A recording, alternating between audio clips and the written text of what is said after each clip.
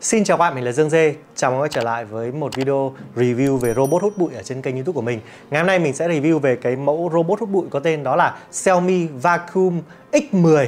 Đấy, cái mẫu robot hút bụi này thì nó có một số những tính năng tự động. Thứ nhất đó là nó có thể tự động đổ rác được. Đây nó sẽ đổ rác vào cái thùng này.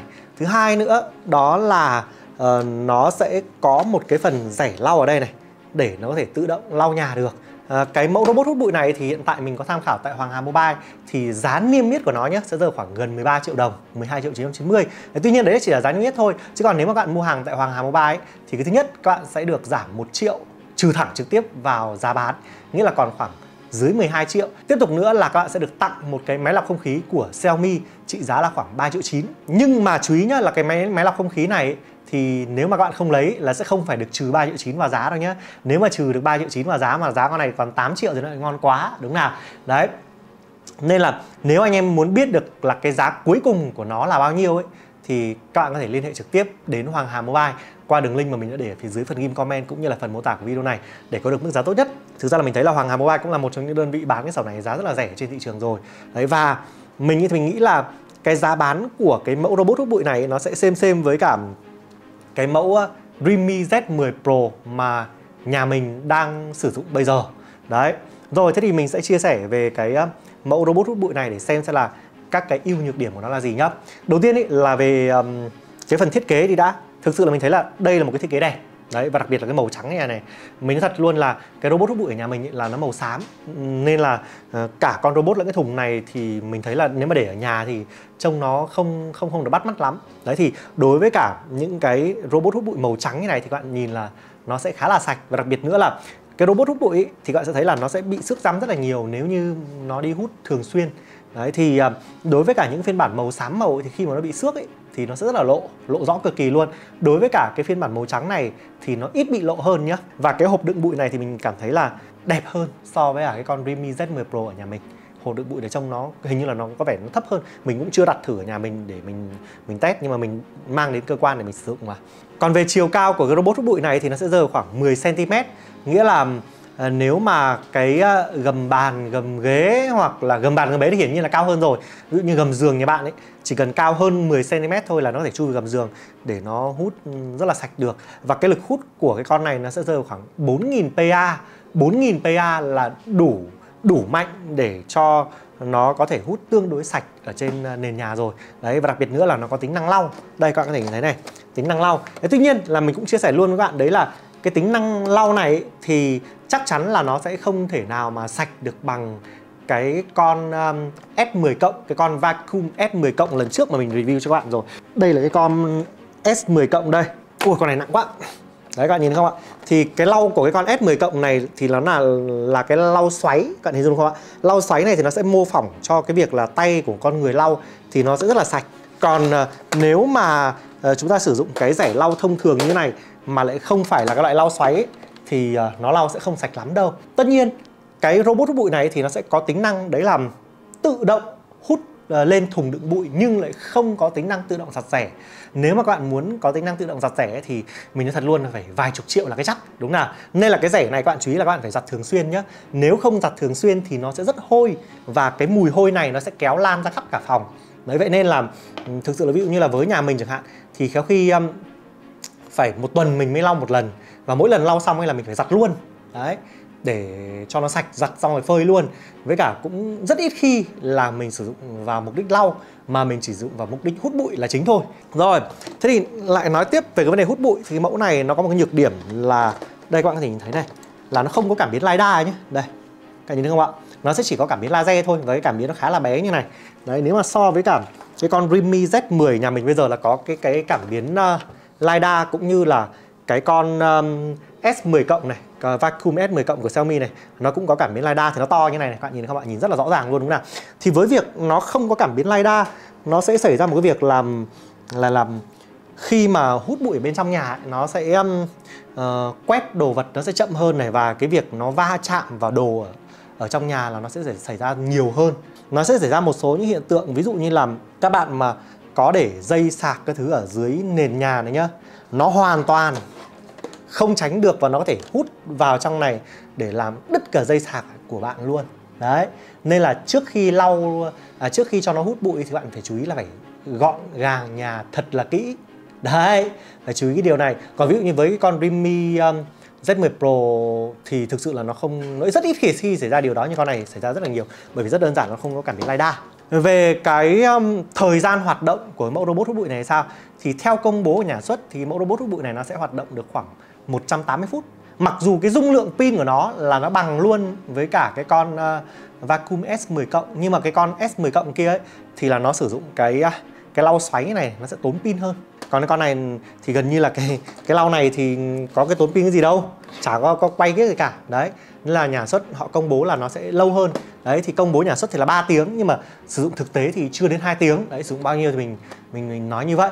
Đấy và với như thế thì uh, như nhà mình với một cái diện tích phòng tầm khoảng uh, hơn 100 mét vuông là thoải mái nhé các bạn nhé. Còn ví dụ như nhà bạn nào mà rộng hơn chẳng hạn cỡ tầm khoảng 150 mét vuông đến 200 mét vuông ấy thì chắc chắn là nó sẽ phải quay trở về chỗ sạc một lần để sau đó nó đi ờ, hút bụi ờ, một lần nữa. Đấy các bạn hình dung không ạ?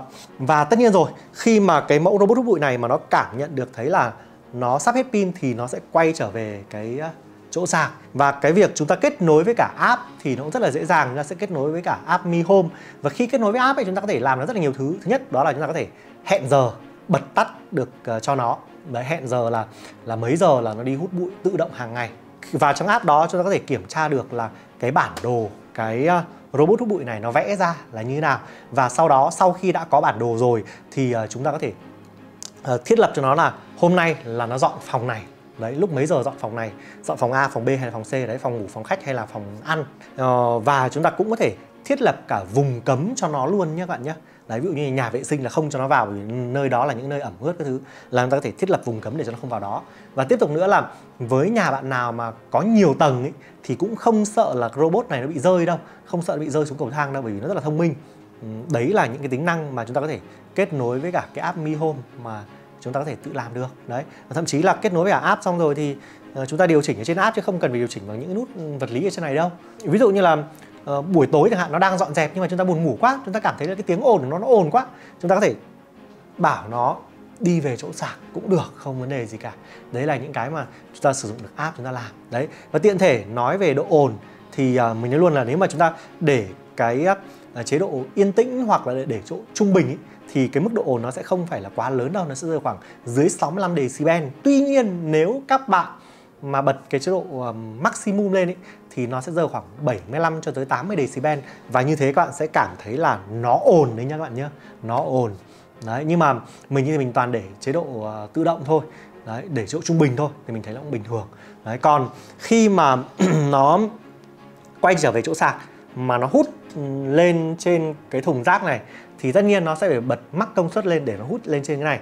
Và ví dụ như nhà bạn nào mà có trẻ con ấy, trẻ con mà đang đứng gần ở đây nhá mà lúc mà nó hút lên là giật mình đấy. Đấy ví dụ như bé nhà mình cái thứ là là thi thoảng đến cơ quan ba chơi là thấy nó nó hút lên là cũng bị giật mình đấy.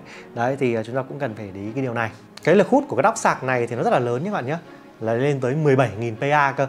Nên là đây các bạn có thể nhìn thấy luôn này. Mình đã hút rồi này. Này các bạn nhìn này trong này nó khá là sạch luôn. Đấy là con đây hình như là, cái hình như có cả là màng lọc HEPA thì phải.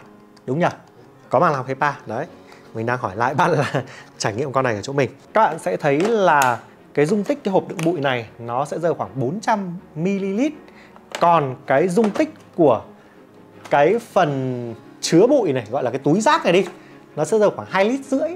Đấy và thực sự là cái túi rác này khéo cả tháng các bạn mới phải đổ một lần hoặc các bạn vứt đi cũng được. Cái túi rác này như nhà mình mua nó rẻ không ấy mà có vài chục nghìn một cái túi rác này thôi, rất là rẻ. Mà khi cả tháng nó phải vứt cái túi rác này đi. Đấy, có có nhiều bạn nhá.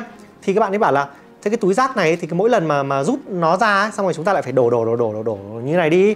Thế thì thà như thế thì chúng ta tháo luôn cái này ra xong chúng ta đổ, đúng nào?